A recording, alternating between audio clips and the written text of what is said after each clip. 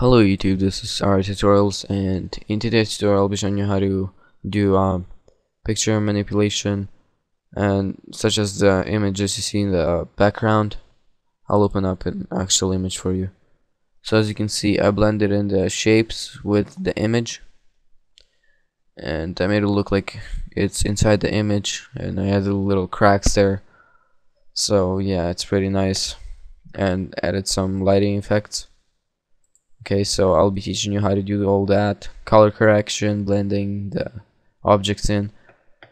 Okay so let's drag the pictures that we were gonna use um, into our uh, Photoshop.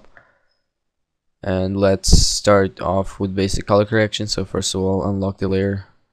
And then go to image adjustments brightness and contrast put brightness to around uh, 12 okay contrast to 60 and if I check preview uh, you can see that there's a bit of a difference already. And then click OK. Then image adjustments levels and bring this side a little bit to the right until it says 10 and then OK then again image adjustments. Uh, vibrance. In this picture I would prefer to decrease vibrance. It's up to you but I like when it's decreased so I put it to minus 62 and saturation um, put it to minus 8 then as you can see there's a change and then click OK and then go to image adjustments and color balance. This is basically color correction right there. Uh, for midtones I would put uh, red a bit of red like 18 and then shadows I'll put a little bit of blue plus 15 blue. A bit of cyan minus 9 cyan okay. Yeah I guess that's pretty much all for color correction. Uh, let's create a new layer. And let's um, you know let's create borders on the side of the picture like black uh, fading. And to do that grab a gradient tool and select the mode to uh, radial gradient. And then click uh, you know this thing to edit gradient and then click on this one which is transparent. So one side is transparent one side is black and just flip these sides like so. And these two. And then click OK. If you need to change the opacity in case you don't have this kind of thing just click on the top tab and then change opacity. Just so you know and then click OK. And uh, let's zoom out a little bit.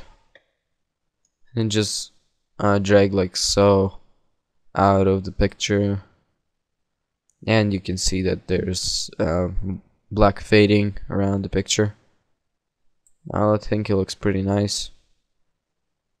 Okay so now let's drag in our uh, shapes that we're gonna be using. Uh, one of them is this shape. Let's put it in. Let's hold shift and drag this down to make this a little smaller. And then put it just somewhere over here. Hit enter. And then if you're on like one of these tools like erase or gradient and just click on it and it will make it uh, editable editable object. I said edible. Um now let's do some color correction on it. So select it and go to image adjustments brightness and contrast increase the brightness to 14 contrast to um 66 then click OK and image adjustments levels and same thing. Just bring this up a little. Then image adjustments uh, vibrance. And for some reason it's not even doing anything. Oh yeah it is actually. I would bring up a, the vibrance a little bit to make it look uh, nice. It's not gonna ruin it in any way okay?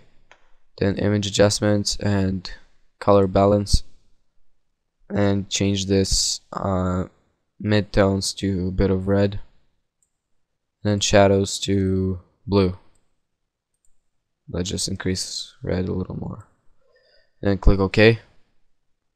And now drag this layer down below our black uh, mask okay uh, now uh, now let's make uh, create uh, lighting effects uh, that will simulate the light coming from up and from up above and then down here is going to be black as if it's a shadow.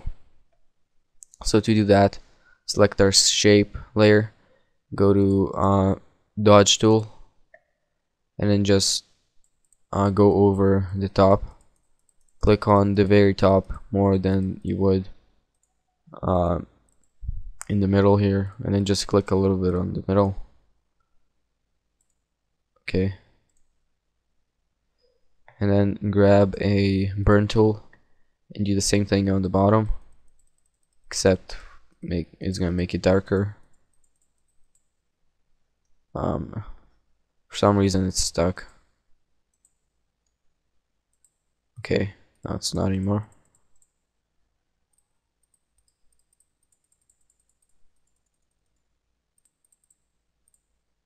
Okay I think that looks okay. Um, now let's now let's uh what are we what was I gonna do? Uh now let's draw shadows.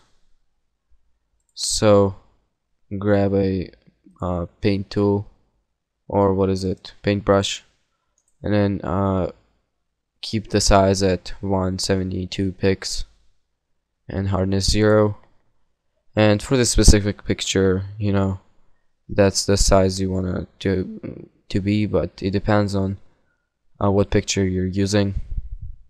And in some pictures you'll have to copy the shape of what you want to create the shadow for and just uh, flip it over and lay it down on the ground but in this case it won't be needed. Uh, so yeah just uh, let's create a new layer and now paint over it like so. Okay just repeat the shape. Okay and then grab a eraser tool and make the sides much bigger like 400 and just go like like that. Let's grab a paint tool paintbrush tool again to fill up those uh, gaps. Okay. And then again uh, eraser tool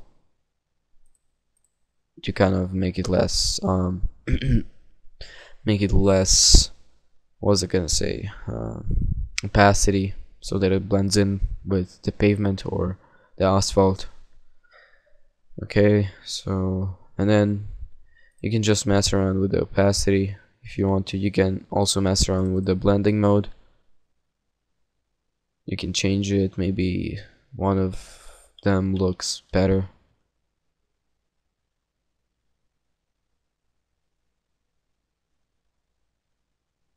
I think this one looks pretty cool. Looks like a shadow.